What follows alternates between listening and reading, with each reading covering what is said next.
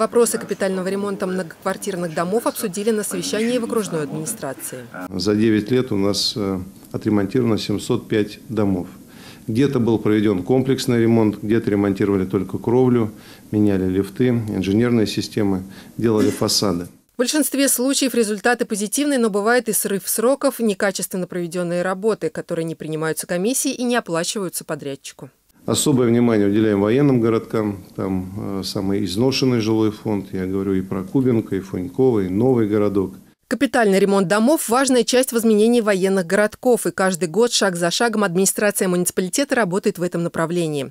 Программа капитального ремонта в Подмосковье была сформирована в 2014 году и спланирована до 2049 года.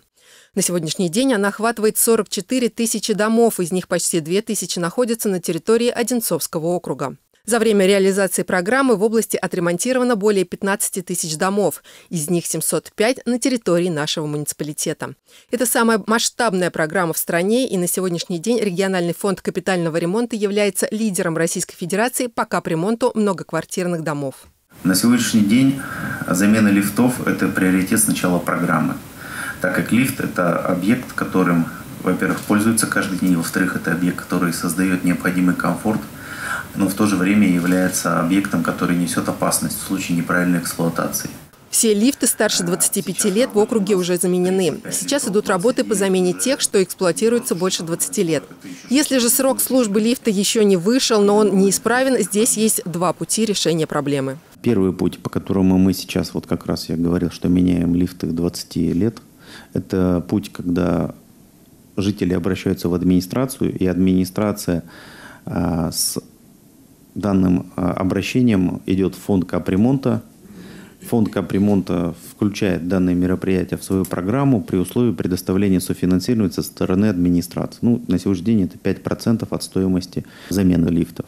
А второй путь – это жильцы проводят ОСС, и на ОСС принимается также решение о софинансировании из средств жильцов. Также лифт каждый год подвергается экспертизе. Если экспертная организация укажет, что лифт требует замены, то это тоже повод для постановки его в программу вне очереди.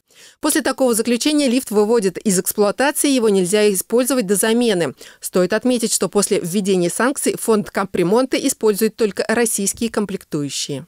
В Московской области есть два завода, которые производят лифты и их мощность полностью покрывает потребность капитального фонда капитального ремонта, а также даже покрывает ее с запасом. Работы по капремонту частично сократили в период пандемии, а в 2021 году сказался рост стоимости на строительные материалы. На сегодняшний день выполнено 50% приостановленных работ, а к концу года большинство из них должны быть завершены. С 2023 по 2025 год начнется новая программа, которая сейчас находится на утверждении в правительстве Московской области. Планируется, что она будет утверждена в конце декабря. В проект включено 232 многоквартирных дома. Дом, который попадает в программу и попадает в работу, размещает э, информационные таблички. То есть на них написано, кто подрядчик, на них написаны виды работы, написаны сроки проведения работ, плюс контакты ответственного лица на данном доме.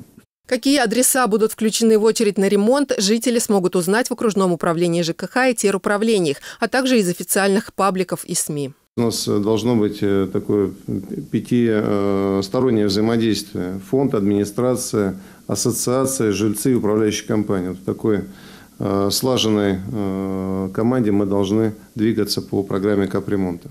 Ольга Дмитриева, Станислав Трифонов, телекомпания «Одинцова».